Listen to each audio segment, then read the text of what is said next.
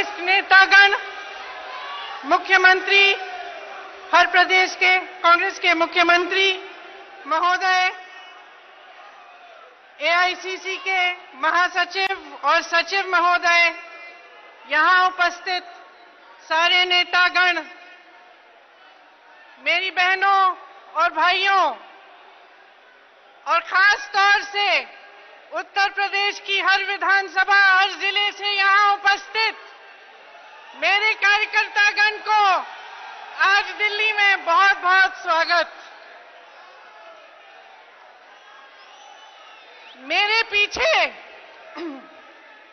बड़े बड़े अक्षरों में आपको दिख रहा है भारत बचाओ रैली। आप सब हर शहर से, हर ज़िले से, देश के कोने कोने से यहाँ इस मकसद से यहाँ आए हैं। तो इसका मतलब क्या है? ये देश, ये हमारा देश क्या है? और हम किन ताकतों से, किन शक्तियों से इस देश को बचाना चाहते हैं? सवाल उठता है, हमारा ये देश है क्या? ये देश एक अनोखे स्वतंत्र स्वतंत्रता संग्राम से उभरा। एक ऐसे आंदोलन से उभरा, जिसने अहिंसा और प्रेम के ज़रिए दुनिया के सबसे बड़े साम्राज्य को शिकस्त दिया। ये देश प्रेम का देश है, अहिंसा का देश है, भाईचारे का देश है। एक दूसरे का हाथ थामने की आदत है ये देश। एक लड़की के दिल में सक्षम बनने की आकांक्षा है ये देश।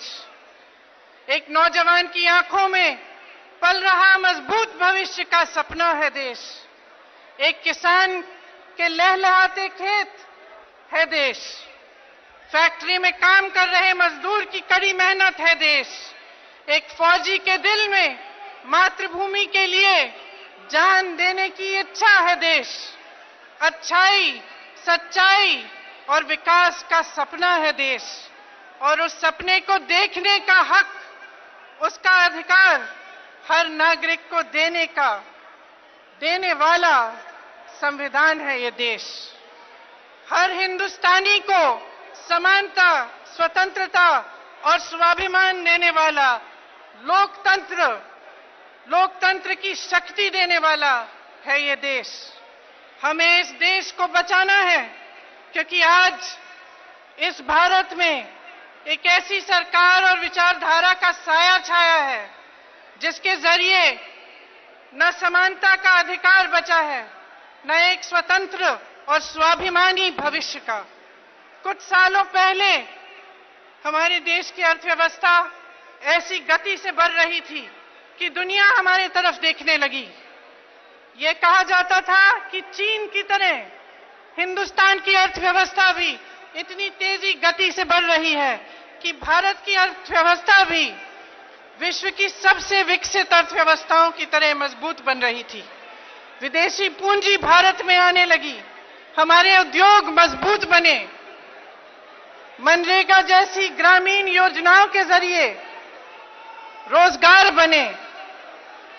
लेकिन आज भाजपा के छह सालों के राज के बाद स्थिति ये बन गई है कि रोज़गार बढ़ने के बजाय घट रहे हैं। जीडीपी पाताल पर आकर आ गई है।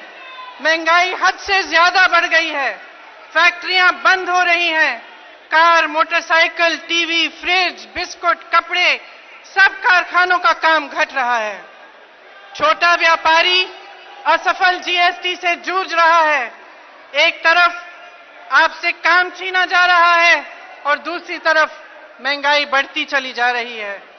फिर भी हर बस स्टॉप पे, हर अखबार में, हर टीवी के चैनल पे भाजपा के इश्तिहार में आपको लिखा क्या दिखता है? मोदी है तो मुमकिन है। असलियत ये है, बहनों और भाइयों कि भाजपा है तो सौ रुपए की किलो की प्याज मुमकिन है। भाजपा है तो 45 साल में सबसे ज़्यादा बेरोजगारी मुमकिन है। भाजपा है तो चार करोड़ नौकरियाँ नष्ट होना। भाजपा है तो पंद्रह हज़ार किसानों की आत्महत्या। भाजपा है तो हमारे नवरत्न कंपनियाँ की बिक्री भाजपा है तो भारतीय रेलवे और एयरपोर्ट की बिक्री भाजपा है। तो ऐसे कानून बन रहे हैं जो हमारे संविधान के खिलाफ हैं। ऐसे कानून जिनकी विभाजनकारी नियत से देश का संविधान खतरे में है। मैं आज आप सबसे कहना चाहती हूँ, जो यहाँ इस रैली में उपस्थित हैं जो अपने घरों में बैठकर टीवी पर देख रहे हैं। कश्मीर से लेकर अरुणाचल प्रदेश तक, उत्तर प्रदेश से लेकर तमिलनाडु तक, जहाँ तक मेरी आवाज़ पहुँच सकती है, देश के कोने कोने में बसे। अपने देश के एक एक नागरिक से मैं कहना चाहती हूँ अपनी आवाज़ उठाइए। ये देश आपका, आपको प्यारा है। तो आप सब देश की आवाज़ बनो। आज अगर हम अपनी आवाज़ नहीं उठाएँगे, अगर हम इन परिस्थितियों को देखते हुए भी भय और झूठे प्रचार के अंधकार में दबे रहेंगे, अगर हम चुप रहेंगे तो हमारे देखते देखते बाबा साहेब अंबेडकर द्वारा लिखा गया, हमारा क्रांतिकारी संविधान नष्ट हो जाएगा। हमारे देखते देखते इस देश का विभाजन शुरू हो जाएगा और हम इस गुनाह के उतने ही दोषी होंगे जितने भाजपा और आरएसएस के झूठे, अहंकारी और भ्रष्ट नेता हैं। कुछ दिनों पहले मैं अवध के एक किसान के घर गई। शायद उन, उनकी उम्र मेरे पिता की उम्र से थोड़ी ही कम थी। अपने जीवन काल में उन्होंने संघर्ष ही संघर्ष देखा। किसानी के साथ साथ लोहार का काम करते थे। नोटबंदी के बाद उनका ये काम बंद हो चुका। उनकी पाँच बेटियाँ थी। एक बेटा। नोटबंदी के बाद बेटा मजबूर हुआ। उसे उत्तर प्रदेश छोड़ना पड़ा। दूसरे प्रदेश में नौकरी ढूँढने के लिए गया। इन्हीं परिस्थितियों में इस किसान ने अपनी तीन बेटियों का विवाह कराया। अब उसके घर में दो बेटियाँ और उसकी बहू दो पोतियाँ रहती थी। तभी उसकी एक बेटी का बलात्कार हुआ। अपराधी प्रधान का बेटा था। पुलिस ने रिपोर्ट दर्ज करने से मना कर दिया। ये लड़की हिम्मत नहीं हारी। हर रोज बगैर अपने बगैर अपने पिता के मदद लेते, ट्रेन में बैठकर अगले जिला में, अगले ज़िले में अपनी लड़ाई लड़ने के लिए कचहरी जाती।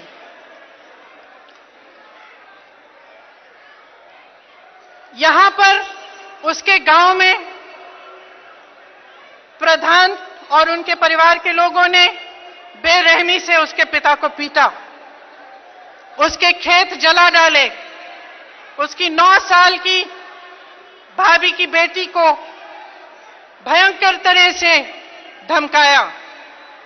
फिर भी वो हिम्मत नहीं हारी। इंसाफ की आस में एक सुबह उठकर अपने घर से अदालत जा रही थी, जब अपराधियों ने उसे पकड़ा। और बीच सड़क में उसे जला डाला। जलते हुए वे साहसी लड़की एक किलोमीटर भागी और अंत में हार कर गिर गई। उनके घर में बैठे हुए मैं उस लड़की की भाभी से ये दास्ता सुन रही थी। जब उसके पिता ने अपने चेहरों को, चेहरे को अपने हाथों में छुपाकर उसके पिता रोने लगे। मुझे उस पल में अपने पिता की याद आई। उस पिता के, अपनी बेटी के प्रेम को देखते हुए मुझे अपने पिता की याद आई, जिनके छलनी शरीर को मैंने 19 साल की उम्र के घर 19 साल की उम्र में मैं घर लाई। मेरे आँखों में भी आँसू आए। मेरे का खून इस धरती की मिट्टी में मिला हुआ है। और उस किसान की बेटी का खून भी इसी देश की धरती की को सींच रहा है। इस देश में जो अत्याचार हो रहा है, उसे रोकने का हम सब का कर्तव्य है। यह देश हमारा है। इसे विनाश से बचाना हमारा नैतिक कर्तव्य है। जब हम उस किसान के घर से निकल रहे थे तो उसकी पोती चारपाई पर खड़ी थी। एक नौ साल की बच्ची है। मैंने उससे पूछा, बड़ी होकर तुम क्या बनोगी? उसने जवाब नहीं दिया।